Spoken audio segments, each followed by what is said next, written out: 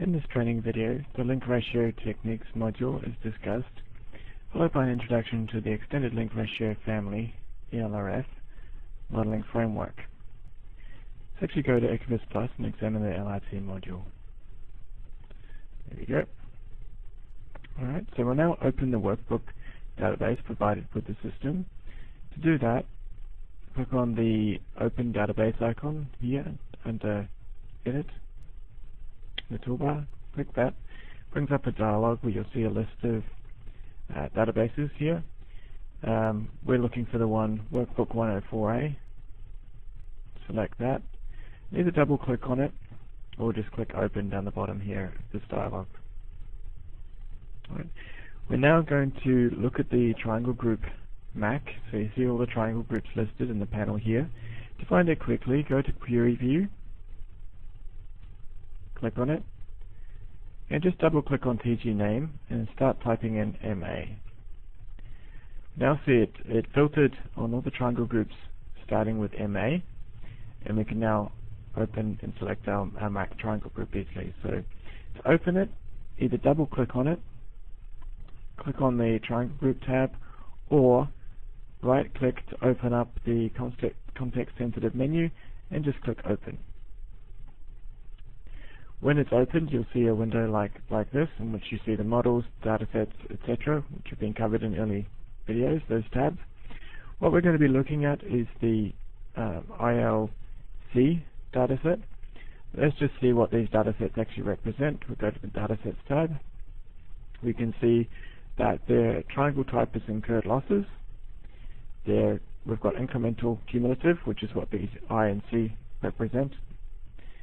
Uh, and they do not have any exposure, inflation, or premiums or associated triangles with these datasets. So modeling this dataset is going to be equivalent to just modeling the triangle because we don't have any other information. However, in Equibus Plus, remember we only model datasets, and the reason for that is that we've got to have access to this additional information if necessary. So we never actually model the triangles directly. Alright, go back to the Models tab, select ILC, and then we're going to open the LRT module. So to do that, make sure the ILC dataset is selected, and then click on LRT. And you'll see a window open like this. So by default, the All tab is selected, and on this tab we can see all the uh, tables and graphs that are available in the display. So if we scroll down on the window right here, we can also scroll in the individual tables as well to view them. Now, before we go further, I'll just quickly cover those four buttons in the LRT toolbar. That is the buttons here. We've got Load Model. This load selections that you might have saved in the database. At the moment, we don't have anything saved, so it's not going to have it. If we open that dialog by clicking on it, we do not have any selections there. Cancel that. We've got the ability to save models or save selections into the database. I will do that a bit later, but it just opens the same looking dialog to load model, but instead we're typing a name and we can save it. Right. We've also got this last n periods. Now what that does, if I just go to the ratio selections tab briefly, we've got these these three ratios weighted average of last nine. So that's the last last nine um, ratios we're looking at and we take these different averages of them. Now we can actually change that last n to being, for example, last five or last four. Click OK, and it's now gone and updated those three ratio methods. So we can do that with um, any of the last n that we want to select. Also in this dialog, you'll notice when I opened it, you've got this um, ultimate period, and that just corresponds to the last development period that you want to use in the triangle. And we'll adjust the ratios ratio to ultimate accordingly when you do one of the smoothing algorithms. Uh, you can also put in your own ratio to ultimate if you so wish. Okay. And the last button here is the forecast button. If we do that, uh, we'll forecast with our current selections, and we'll look at doing that a bit later in this video. Okay. We're going to return to that data ratios tab, on this display we see the normalized data, so that is the data adjusted for exposure, if any, Now, if you remember when you're looking at our datasets, I'll just come back to that window by right-clicking on the Triangle Group tab, select Mac, and that brings this window to the foreground. If we go to uh, datasets, we see we don't actually have any exposure here. So if we double-click on the data set to open it and minimize uh, database view, then minimize the triangle, tile again. So if you notice I went to the drop-down arrow, if I did that a bit quickly, drop-down arrow, select minimize triangle groups, minimize that additional window that was in the middle on my screen, and then just tile, tile again to get the two side by side. Alright. Now you can see that the normalized data in this case is exactly the same as the original data in the triangle. We're not, um, because we don't have any exposure, there isn't any change in this, this data here. The ratios, uh, self-explanatory, they're just the ratio of the cumulative, so this number divided by that number is this first ratio, this one divided by that one is your next one, and so on. Alright. Um, and if we go now to the um, ratio selections tab, we can see the same ratios table that was on the data ratios that now is at the top. I just maximize this window now. And we've also got the selections, uh, which are different ratio methods applied to these ratios uh, in order to obtain the uh, standard chain ladder or volume weighted average, arithmetic average, geometric average, and so forth for the different ratio methods that are applied in this table. Now, if you want to maximize one of the uh, one of these tables, just double click on the title bar and it will maximize it in the window. Double clicking on it again will, will restore it to be able to see the other um, tables or graphs on the page. And that applies to any um, table or graph whenever we're looking at a window. So double click again to restore it. Um, you'll also see that in this in this top part of the column, so above this black line, we've got all these different methods. Below, below the line are actually input uh, rows for industry and judgment. Okay, and you'll notice that the final selection, which is uh, what we will be using to forecast, is by default set to the standard chain ladder or volume weighted average. But these industry industry rows you can set in manually or copy and paste in numbers. For instance, I can just enter in 3.5, say, uh, 2.48, uh, 1.32, and so forth, um, to make up my industry data with appropriate industry ratios. Um, for judgment, I can again enter any ratio that I like, for instance, 3, 1.72, uh, 1.25, and so forth, um, according to what I believe is the best ratio. Um, to enter values into the final selection, uh, right click and just press copy to selection or click on F4 and it will uh, propagate whatever ratio is currently selected down. If you want to select an entire row and propagate that into your final selection, for instance, you want to use the geometric average, just double click on that title and it will propagate all the, the entries down. Alternatively, if I want to use a particular ratio, um, again, I just use the F4. If I wanted to use the average of last four on 2 to 3, and it will select it down.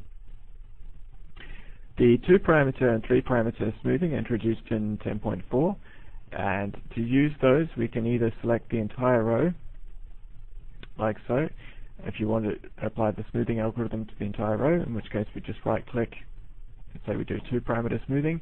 If you want to do just a subset of the ratios um, we can just select them by dragging. Again right clicking say three parameter smoothing and what that will do is start the three parameter smoothing from whichever ratio was first selected. So in this case we first started our curve at 1 to 2, so we don't actually calculate a ratio from 0 to 1, and just start our curve at 1 to 2 and propagate it out. And you'll notice that on the right of the display we've also got ratios calculated for this to ultimate period as well. Alright, so there's a lot of flexibility in this table. You can enter in, in your judgment and industry any, any values you like. You can also, if I just restore back to the original data ratios, you can also select a ratio in this table. If you double click on it, um, it will again propagate it down to the final selection. So I changed 5 to 6 with, with this value here. And so you can enter ratios out of your original data as well. So we now come to the last tab at the moment on the selections graphs. And that gives the same uh, selections uh, table that we had earlier on the previous panel that we were editing. We've now got the addition of these selection graphs here, which uh, give a graphical display of the, the curves. So for two parameter smoothing is that green line. Um, that yellow is the three parameter smoothing. Obviously we didn't calculate one for 0 to 1, so it actually starts at 1 to 2 and just puts a 1 there. And we've got these other ratio methods here. We can add a, by left clicking on these colors, we can say view the ch uh, standard chain ladder ratios, um, geometric average, which is probably hard to see over the other ones, um, and so forth. And again, you can click on the title to be able to maximize it if you so wish. And TU just means to ultimate in this, this case. Now we've got, once we've got our selections, um, I'll just put a few more in. I think the, say the standard chain ladder uh, for 0 to 1. Actually, no, I'll, I'll use the um, two parameter smoothing now.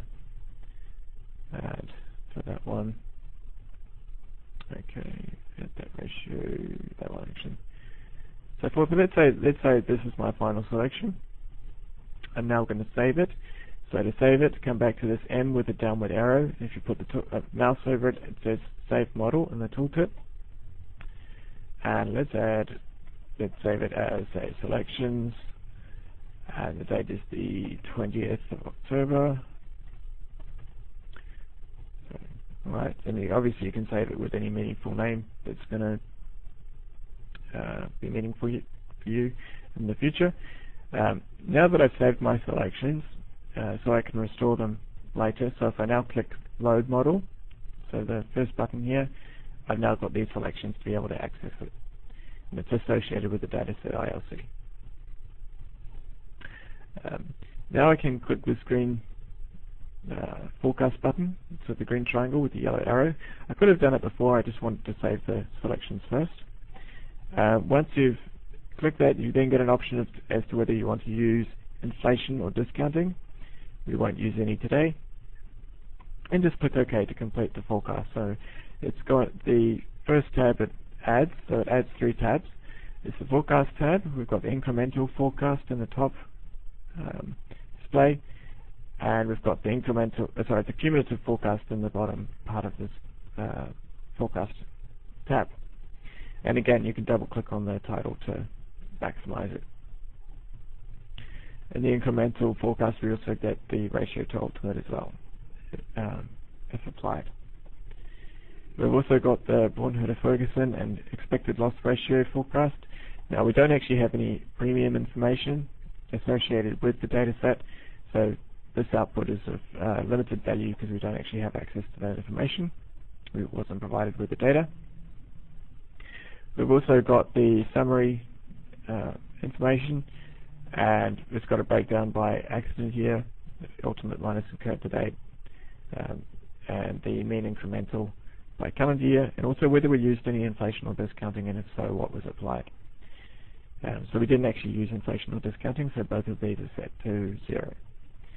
We've also got this comparisons tab here, which just allows you to compare what the forecast in the calendar year is the next calendar year with, uh, sorry, next calendar year here with what was forecast over in the previous calendar year. Now you're looking at the these totals here, so you've got to exclude various development periods when you're making the comparisons, and that's what um, this, this, sorry, this forecast actually does. All right. Now to that this um, concludes the section on LRT as such we're now going to um, return to the PowerPoint display and show the link between LRT and ELRF because the subsequent training videos are going to focus on ELRF before continuing into other areas of the system. Let's turn back to PowerPoint now and I'll just resume the slideshow. Alright, so link ratios are just a comparison of columns and we saw that with the the cumulative, when we related the, the cumulative um, at at y we were looking at the data to get the ratios. So what we do is we just divide our y uh, by x to get our ratios. So, and we can actually graph these um, of the y versus x. Okay, and what we find is that the av an average link ratio method is just an average trend line. So each ratio, because we've got y divided by x, can be seen as a trend line going from the origin to the point. Um, so this is a this is a slope trend line. This is another one, and so this average trend line is is like an average um, average trend through the origin. Now, if we're looking at average trends, then we can also talk about it in terms of a regression analysis. So equivalent to the uh, average link ratio method here would be a, a, a, regression analysis where you're forcing the line, so the best fitted line, to actually go through the origin down here. And this reformulation of these link ratio methods as a regression equation was done by Mack in 93. And we're using these equations here at the top, and what and what we do is set the this delta, which is our what we're using as our weights, into the equation. We set that equal to 1, and if we follow through the minimization to find the best estimate of b, or our ratio, we actually find that the best estimate is given by the sum of y over the sum of x, which is equivalent to how we calculate the chain ladder ratios or volume weighted averages. So Mack and chain ladder ratios and volume weighted averages, they're all the same thing. They're not talking about, they're going to be calculating the same ratios. They're not actually a different method as such. They're just um, different formulations of the same method. And what the extended link ratio family does is look at this, these equations and generalize it. So we've got control over what values of delta we have. So in the Mack method, we set delta equal to 1. We can set delta equal to 2 and get the arithmetic average. We can set delta equal to 0 and get the uh, average weighted by volume squared. Now, we also have control over this, this regression equation so that we can use, uh, extend it to the, the Murphy method, which we'll cover in more detail in a later video, where we add an intercept here. We can also add trends into the uh, equation as well, which is in this, this slide here. So we can add, we can generalize it completely by having an intercept, trend parameter, and ratios all within the one framework. And we'll continue discussing this modeling framework of ELRF in the next training video. Thank you.